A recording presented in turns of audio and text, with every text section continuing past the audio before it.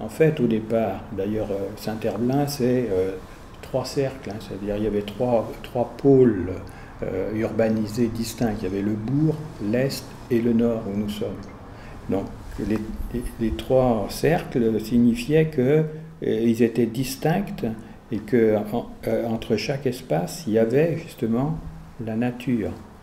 Et euh, donc euh, aujourd'hui, on s'aperçoit que l'urbanisation euh, a fait rejoindre chacun des, de, ces, de, ces pôles quasiment.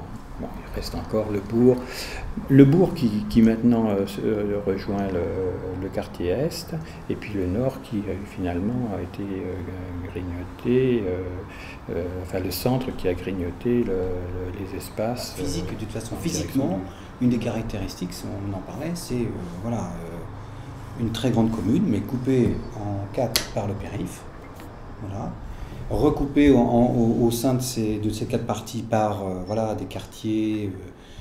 voilà. Et puis, je dirais, là-dedans, eh bien, effectivement, soit des, des grands parcs qui ont été conservés, ou des grandes trames vertes qui ont été, euh, je dirais, oui, enfin, conservées, euh, remodelées, enfin, voilà, ou réappropriées.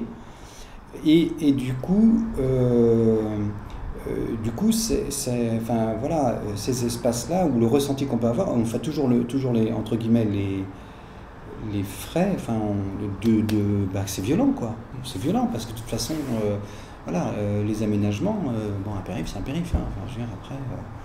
Alors dans les ronds-points, on met des végétaux pour faire euh, des rappels sur euh, voilà, telle ou telle chose.